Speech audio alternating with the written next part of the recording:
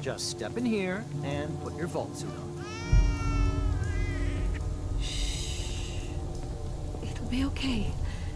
Daddy's right here. See? Honey, could you help me?